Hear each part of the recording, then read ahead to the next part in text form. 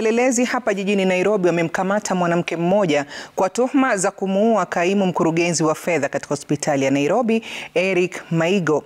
Cynthia Andalo aliyewasilishwa mahakamani atasalia kizuizini kwa siku tano huku uchunguzi wa msako dhidi ya mshukiwa mkuu ukiendelea. Wapelelezi pia wamepata visu viwili vinavyoaminika kutumika kumuua Maigo kwani vilikuwa na damu na alama za vidole zinazodaiwa kuwa za mtu mmoja. Hassan Mugambi anaarifu zaidi.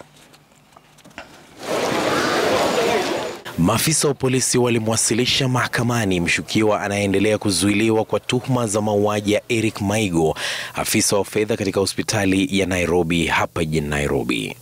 Cynthia Andalo aliwasilishwa mahakamani huku maafisa wa upelelezi wakiomba muda zaidi wa kuendelea kumzuilia huku uchunguzi ukiendelea. Andalo atazuiliwa kwa siku tano huku msako dhidi ya mshukiwa mkuu ukiendelea. Inaarifiwa kuwa Alhamisi iliyopita baada ya kumaliza kazi, Maigo na Cynthia pamoja na wanawake wengine wawili walikutana katika klabu moja iliyofunguliwa hivi karibuni katika barabara ya Ngong.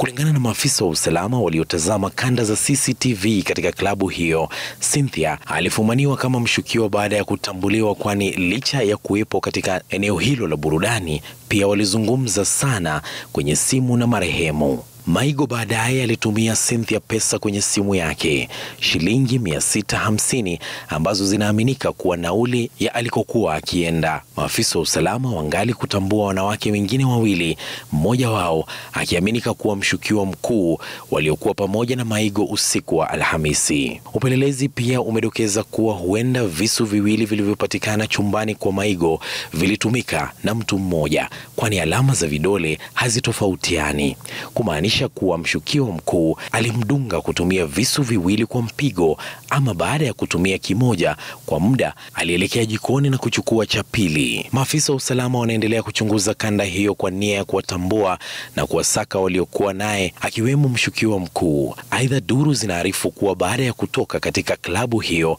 mwendo wa saa tatu unusu, Maigo na mshukiwa mkuu walielekea katika eneo lingine la burudani Kilimani kabla ya kurejea nyumbani. Mwili wa Maigo ulipatikana nyumbani kwake Ijumaa asubuhi ukiwa na majeraha 25 ya kudungwa kisu kifuani, shingoni na usoni katika mtaa wa Woodley Annex hapa hapa jijini Nairobi. Hassan Mugambi, Citizen Nipashe. Kusimamishwa kazi